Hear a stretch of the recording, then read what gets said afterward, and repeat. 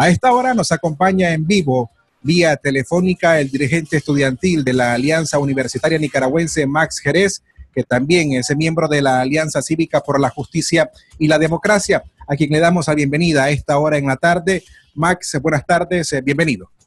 Muy buenas tardes, Francisco, y buenas tardes a todos los radioescuchas de Radio Darío que nos sintonizan en diferentes puntos del territorio nacional.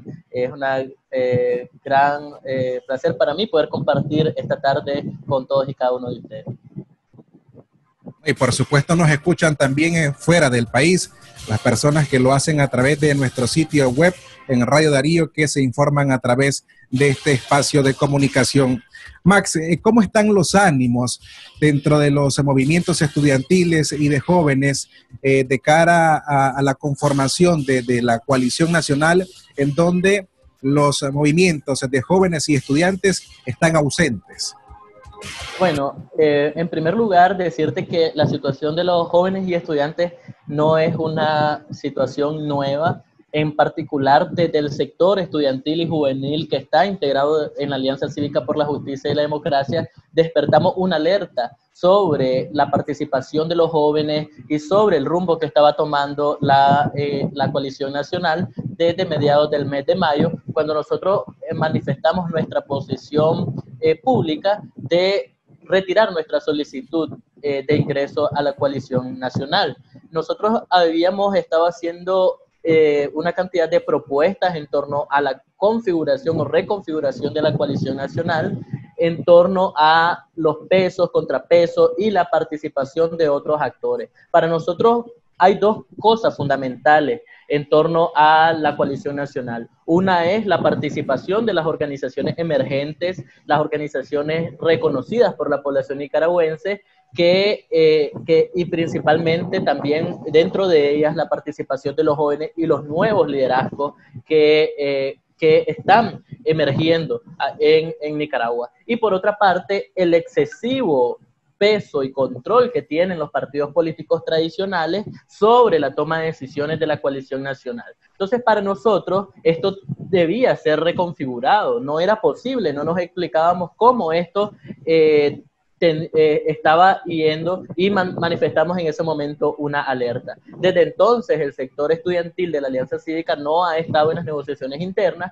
Eh, recientemente, otras organizaciones juveniles y estudiantiles, como era de esperarse, retiraron su, su, su participación también. Me refiero a el sector juvenil de la Unidad Nacional. Sí, justamente quería llegar a eso, Max. Eh, ustedes, eh, cuando anunciaron que retiraban su intención de pertenecer a la coalición nacional, en aquella ocasión calificaron que dentro de la coalición eran excluyentes. Quisiera conocer, sí, tu, tu, tu perspectiva, cómo ven eh, o cómo toman el anuncio de los sectores estudiantiles y juveniles de la UNAP, que recientemente también decidieron suspender su participación para integrar la coalición.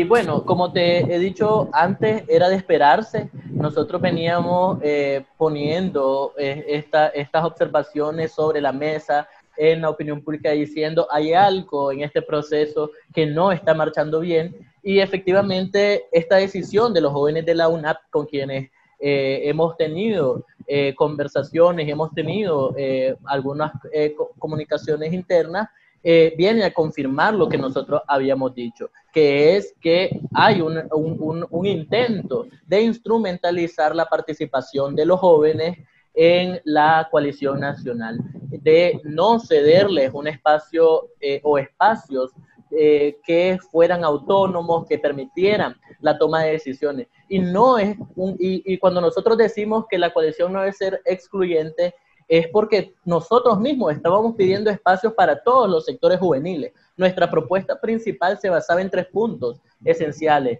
Eh, la participación de los jóvenes ah, de la Alianza Cívica, la participación de los jóvenes integrados en la Unidad Nacional y la participación conjunta de los jóvenes de los partidos políticos. Sin embargo, nada de esto fue aceptado porque hay un intento de las organizaciones políticas partidarias tradicionales de controlar y de tener la mayoría de votos en la toma de decisiones hasta ahora en la coalición nacional. Eso, a eso justamente me voy a referir ahorita. Eh, como nosotros los medios eh, de comunicación, los periodistas, entendemos la, la postura de ustedes. ¿Cómo le explicamos a la ciudadanía lo que ocurre con los movimientos estudiantiles y juveniles, independientemente de las organizaciones, tanto de la Alianza Cívica como de la UNAP? Primero, porque no logramos verlos eh, acoplados.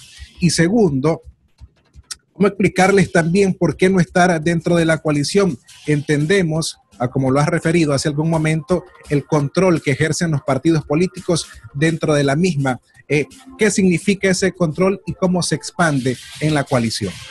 Bueno, en general uno eh, quiero, quiero reafirmar que los actores juveniles, eh, este movimiento social juvenil de organizaciones juveniles, eh, en esencia no debe interpretarse como una disputa entre jóvenes.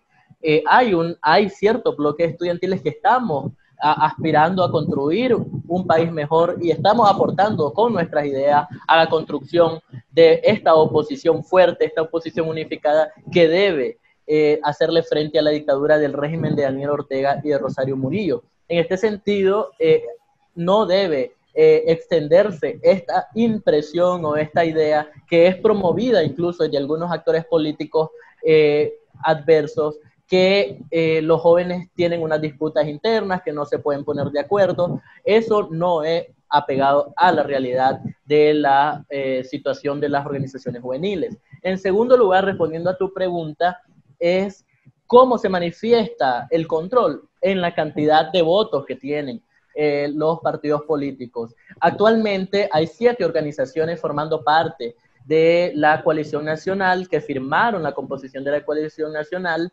Eh, en este sentido, eh, los partidos políticos, que hay cuatro partidos políticos, tienen un voto cada uno, lo que hace que haya cuatro votos de partidos políticos eh, un voto para la Alianza Cívica, un voto para la Unidad Nacional y un voto para el movimiento campesino. Entonces, cuando se toman decisiones, la mayoría de las decisiones son las que se votan, las que impulsan los partidos políticos, porque ha habido un, un, un fallo de, de, arquitectura en considerar el peso de estas organizaciones políticas mayoritario al de las organizaciones emergentes y políticas. Nosotros seguimos sosteniendo que eso no corresponde al reconocimiento, no corresponde a la legitimidad que la población nicaragüense ha puesto sobre las organizaciones emergentes y que no está poniendo sobre los partidos políticos eh, tradicionales.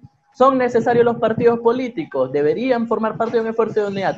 Por supuesto que deberíamos juntar esfuerzos todos los nicaragüenses, pero no se puede pretender que los actores políticos tradicionales, partidarios, pues, quieran abarcar o imponer su liderazgo por encima de lo que la población quiere, que es un cambio de la política nicaragüense, que es nuevos liderazgos, que es una transformación total de este país. Sería un gran error para la oposición nicaragüense o para el país mismo, para el pueblo de Nicaragua, que el país quedara en manos de los mismos de siempre, muchos de ellos corresponsables de la situación que nosotros estamos viviendo actualmente frente al régimen de Ortega. Entonces nosotros vamos a seguir insistiendo eh, en este mensaje de sumar esfuerzos, de recomponer la oposición en Nicaragua. No tenemos un mensaje divisionista, todos somos, todos somos necesarios en este esfuerzo, reconociendo nuestras fortalezas, nuestras debilidades y el reconocimiento que la población nicaragüense está depositando en todos y cada uno de los actores políticos y organizaciones a nivel nacional criterio de ustedes, Max, creen que deben seguirse haciendo estos esfuerzos de organización dentro de la misma oposición de cara a las elecciones que podrían ser el próximo mes de noviembre del año 2021? ¿Ustedes ven posible esto? Efectivamente, nosotros creemos, somos optimistas. Yo apelo a la, a la, sociedad nicaragüense. Yo sé que a veces muchos de los mensajes que se transmiten desde, desde algunos actores políticos, desde algunas eh, cuentas en las redes sociales, eh, tienden a, a tergiversar la verdad de los acontecimientos o a tratar de desmoralizarnos y de motivarnos en la lucha por una Nicaragua libre. Debemos ser optimistas, este es un proceso en construcción, eh, vamos a lograr sumar todos los esfuerzos necesarios para derrocar al régimen de Ortega y derrotarlo en el escenario electoral. Estamos apostando por sumar todos los esfuerzos posibles para derrotar al Frente Sandinista y a Daniel Ortega. Y en ese sentido, nosotros creemos que es necesario para ello una oposición fuerte, basada en principios claros, en una estrategia conjunta, pero sobre todo una oposición que ponga sobre la mesa y que muestre cercanía con las necesidades de la gente y sus problemas. No puede ser una oposición desconectada de la realidad de la gente o de la realidad del país. Entonces, en ese sentido, eh, vamos a seguir trabajando, uniendo esfuerzos. Se va a requerir mucho esfuerzo de todos los nicaragüenses para hacerle frente al régimen de Ortega y sacar de una vez por todas a Daniel Ortega y su banda de criminales del poder.